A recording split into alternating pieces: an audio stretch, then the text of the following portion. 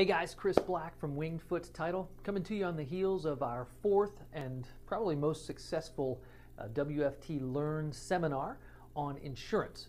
Um, we learned so much from the panelists um, Rob Smith from Brightway Insurance, Brian Thompson from the Thompson Agency, and Kevin Kohlmeyer from Regency Insurance.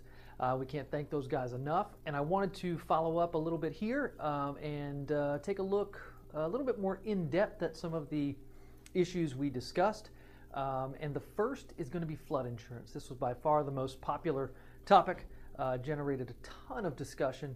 Uh, and we're going to look at a clip here as uh, Rob Smith, again from Brightway Insurance, uh, discusses the impact of the Biggert-Waters Act, which took effect on October 1st and is having a pretty significant impact on flood insurance rates, especially in our area. So take it away, Rob. Um, as of October 1st, the Big Waters Act has gone into effect.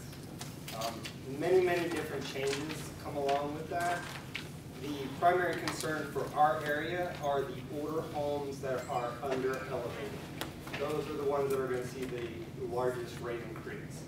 Um, in the past, they used to have a program called the pre-FIRM program. So any older home that was under elevated, we'd be able to stick into the pre-FIRM program and your rate was generally higher than if you had an elevation certificate, but nowhere near as bad as what it's going to be with the elevation certificate.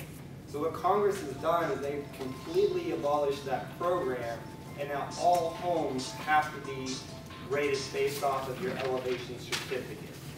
So a lot of these pre-FIRM homes that were paying anywhere between 900 and 1500 are jumping up to three, four, five, six, seven, eight thousand dollars per year.